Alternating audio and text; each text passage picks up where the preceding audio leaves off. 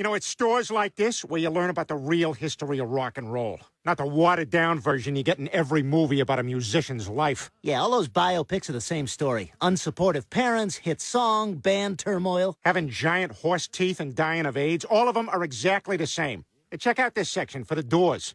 Jim Morrison is a legend, whether we like it or not. He had the good sense to die before we could see him at the Pechanga Casino and go, oh my God, that's him?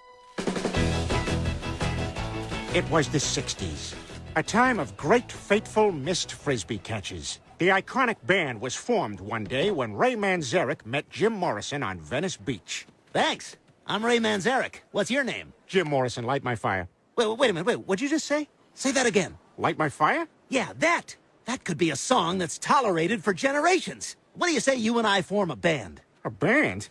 But this is the 60s. We don't have nearly enough floppy heads of hair to do that.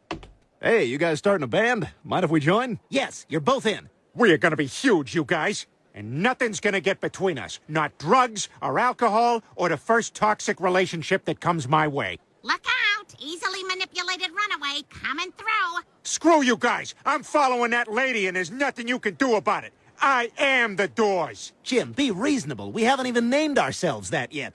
Look, I'm gonna get right to it and say I miss making music with you bastards. Thanks. I'm Charles Manson. What's your name? Jim Morrison, kill Sharon Tate. Wait a minute. What did you just say? Say that again.